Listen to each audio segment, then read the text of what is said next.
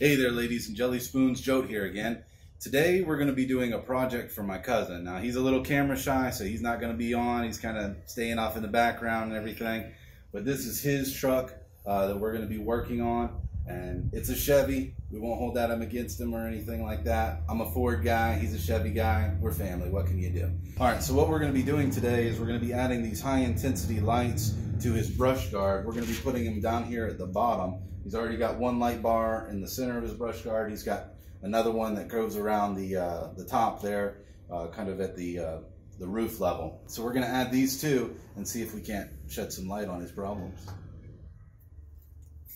All right, so this is what the finished product is going to look like. As you can see, we've already got this one mounted on the uh, passenger side.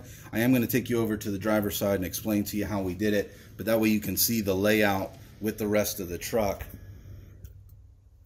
It's back here behind the edge of this part of the brush guard. It's above this part of the brush guard. Those are all things that you want to take into consideration when you're mounting these lights is if you're going through uh, high brush, you don't want to be damaging your lights on top of everything else. You know, I mean, that's part of four wheeling is we're going to mess our trucks up a little bit. That's that's a risk we're willing to take for the fun that it gives us.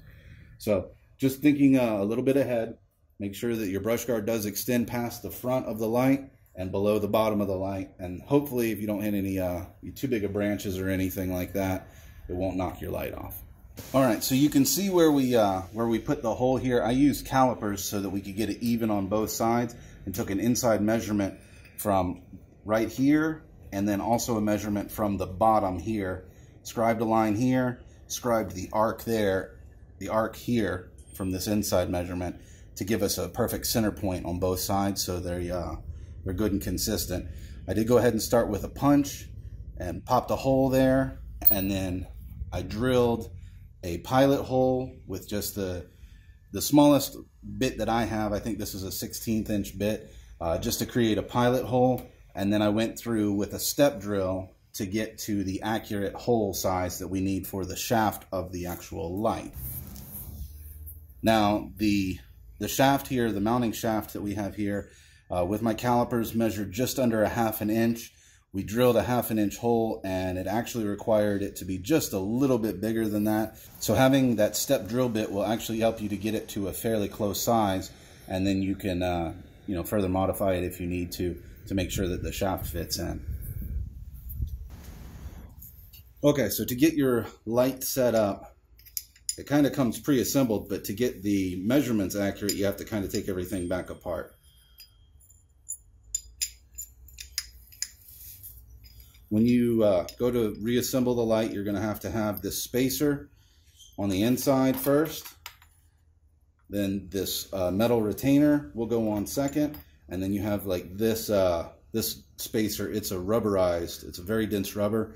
And it's basically just a shock absorber, so you don't have metal on metal. Okay, so you'll basically just feed your wire in through the hole first and then the shaft, if you've got your spacing correctly, should slide right in. On the other side, you have another dense rubber uh, like grommet and another metal retainer. You're going to feed those on with the rubber side or with the rubber grommet in first, the metal retainer on the outside and you're going to need to push them in as close as you can because there isn't a whole lot of thread left on the inside of that shaft. Put on your lock washer and nut.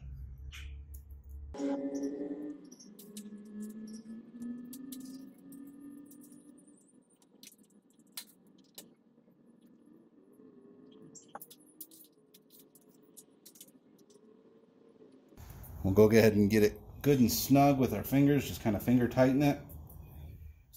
And then we want to make sure that we've got both lights adjusted so that they're symmetrical on both sides.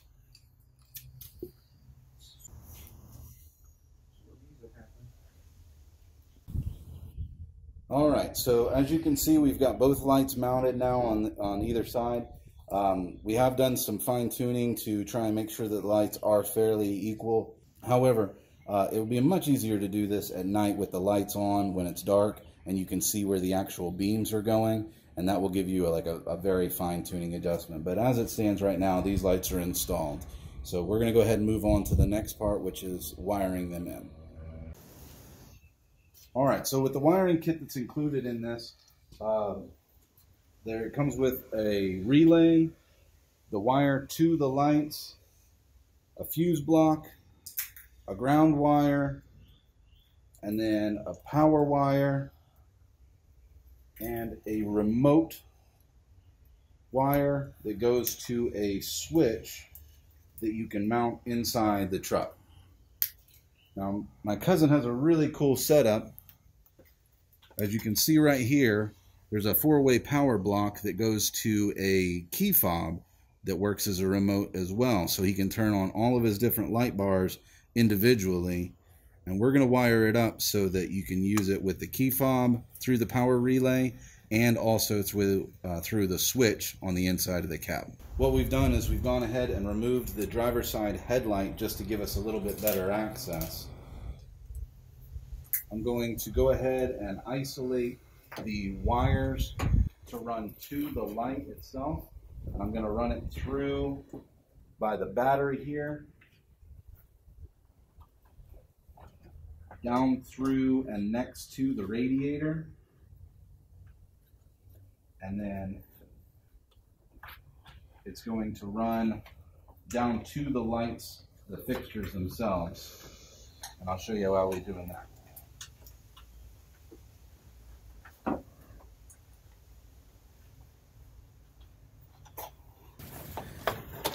and right here is where the wires are running for the the lights right in here is where we're running the wires to connect to the lights. As you can see he's just hooking them up. So those wires just go black to black and white to red.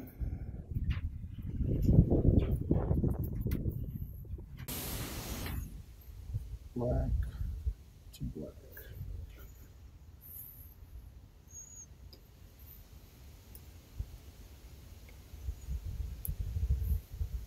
And it's just male to female tabs, so they go in pretty easy. We're going to come back with some electrical tape afterwards and uh, just go ahead and coat those in tape so make sure we have a good uh, waterproof secure barrier there so we don't have any corrosion issues later on. All right, so here's the relay for the light system. What we're going to do is, because this isn't going to be powered directly from the battery, it's going to be powered from this four channel relay that we have here. We're going to go ahead and lose these ends because we don't need them anymore. Same with the red wire. You want to make sure you make your cut after the uh, fuse block though because that's a safety concern. You always want to have as many fuse blocks as possible. So we'll get rid of that. And go ahead and strip back just a little bit of the wire here.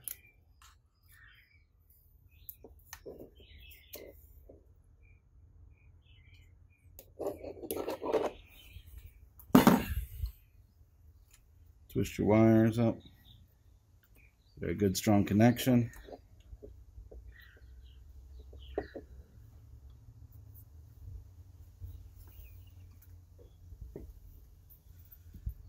Just going to go right here on this next channel, channel 3.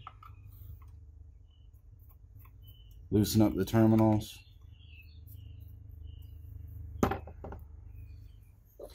And we're just going to follow suit here. You can see black, red.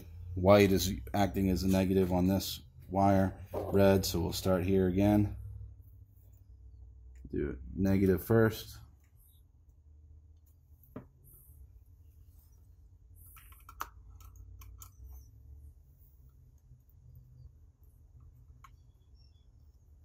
Tighten the terminal.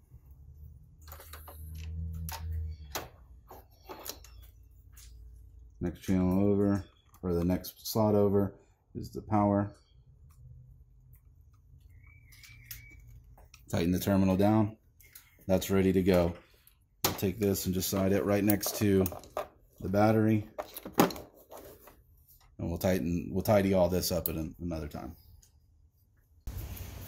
Right, so now that we've got the wires connected, I'm going to go ahead and this is probably just an, a layer of security that you don't necessarily need, but it's going to make me feel a little bit better. I'm going to go ahead and put electric tape all the way around these wiring connections. Uh, if nothing else, it will help keep moisture out. And moisture and electricity, they're really good friends, but they're not good for you. So we're going to go ahead and secure that. Got a nice secure connection now. It'll keep all that moisture out of there.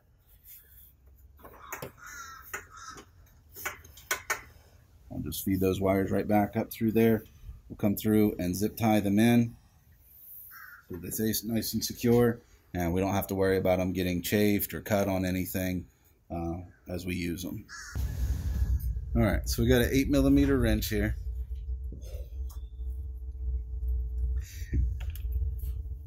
We're just gonna loosen up the terminal just a little bit. Need just enough space to uh, feed the eyelet.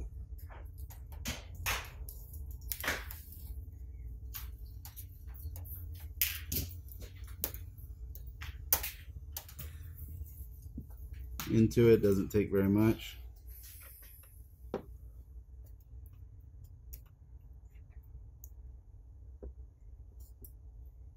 All right, that's good and secure.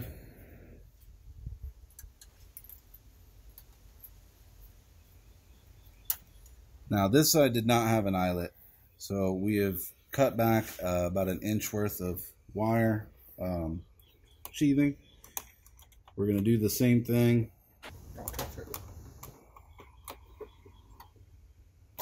There we go.